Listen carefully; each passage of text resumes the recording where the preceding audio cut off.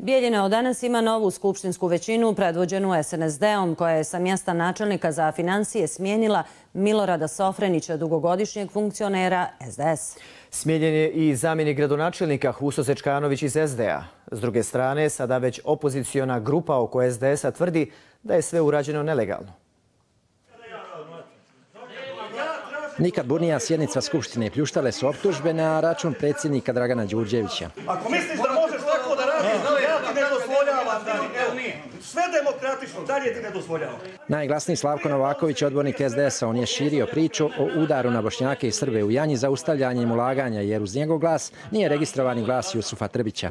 Ovo je čisti pokušaj destabilizacije Janje kao sredine. Ja sam to vama rekao. Mi smo se borili nekoliko godina da američke sankcije skinemo sa bijeljne. Novakoviću se pridružio Jusuf Trbić, odbornik SDA, pričom o udaru na Bošnjake u Janji.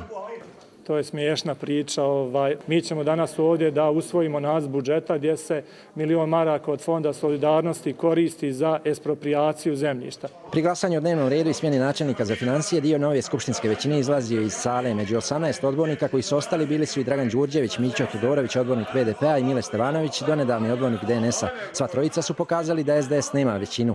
Kad se situacija koliko toliko smirila, 16 odbornika izglasalo smjenu Sofrenića. Pri glasanju Nama su ukradeni glasovi. Znači, u sali je bilo prisutno 18 odbornika.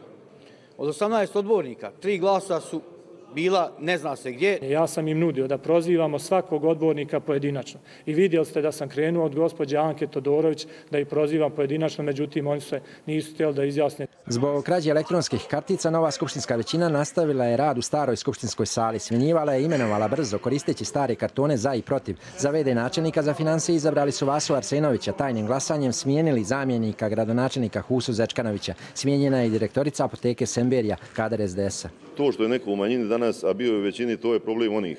Ja sam manjina bio ovdje uvijek do sada, radili smo konstruktivno, nikada nismo napuštali skupštinu i pravili probleme.